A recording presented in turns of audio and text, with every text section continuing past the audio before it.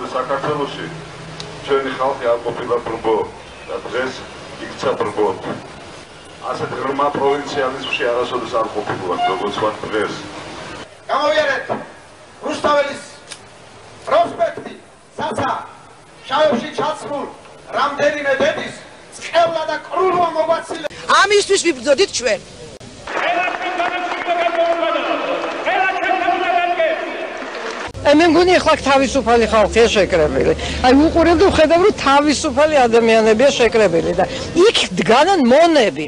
აი მონები, რომლებსაც უნდა მონობა თვითონ აირჩიეს თავისი არსებობის ქვაკუთხედა. საშინლად მეწოდება. აი ეს ჩვენი საწყალი უბრალო ქართველი, რომელსაც ამდენი 70 წელიწადი სულ ურტყეს თავში, მართლა რაღაცა გადაუბრუნეს ტვინში და ეხლა აი ვაკუუმი რომ გაჩნდა ტვინში, ის შეავსო ახალმა კერპმა. აი ეს ინტელიგენცია, ის ინტელიგენცია, ისინი ფუფუნები დროი. ის რომ ფუფუნებული ინტელიგენცია. ის არ უნდა. პრივილეგირებული ინტელიგენცია. წერალი თუ წერალია, ნატური წერალია რა დაწეროს იმან თავის. აი აქ თქვენს დამნაშავე ხართ, მეც დამნაშავე ვარ და ყველასე მეწილად ის ინტელიგენცია დამნაშავე.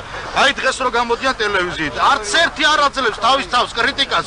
ყველა მართალია, ყველა მაგარია, ყველა ვაჟკაცია და აი როცა ერი გასკდა შუაზე, ამან თუ ერი გახეთქა იმდენი შეგნება უნდა კონდეს ინტელიგენცია, აი გახეთქილ ხიცე, სადაც გაბზარულია, ხრები დადგეს და ერი გადაატაროს თავის ხრებზე, რომ ეს არ მოხდეს.